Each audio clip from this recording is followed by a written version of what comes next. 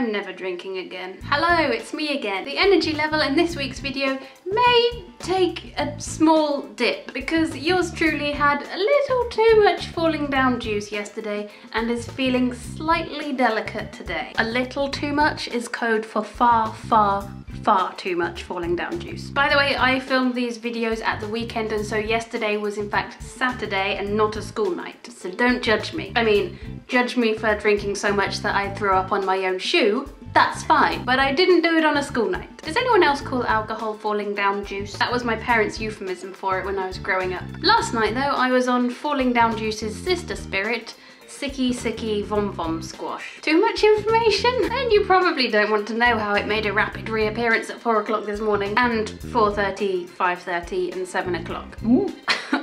Let's not joke about it, Becky's. Too soon. I am, though, somewhat proud of myself for not vomiting on any public transport. Not proud of myself at all for drinking so much that my body felt the need to expel it from its system repeatedly. But that was the first time that I've ever drunk so much that it has made me actually physically sick. It's also the last. It's not an experience I need or want to repeat. In fact, I'm using this video as a permanent reminder to myself never to drink so much alcohol in one go ever again. You're 27 years old, Becky. You should know your limits by now. Dear, oh dear. Just be thankful that you have such adorably wonderful friends who were looking after you. Shout out to Philly, Rosie, Becky and Hannah. I'm sorry I worried you by not answering your calls when I got on the train. At the time I didn't hear my phone because I was very busy.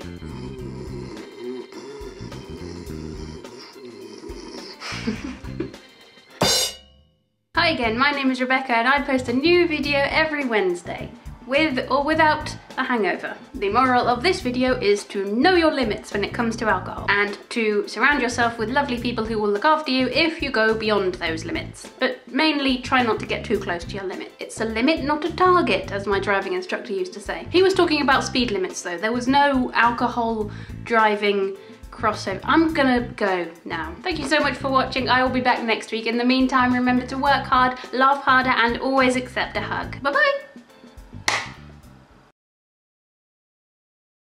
I am, though, somewhat proud of myself for not vomiting on any blum.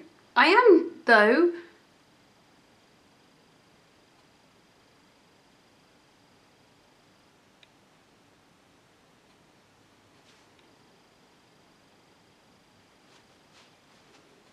It's a limit, not a target. That's my...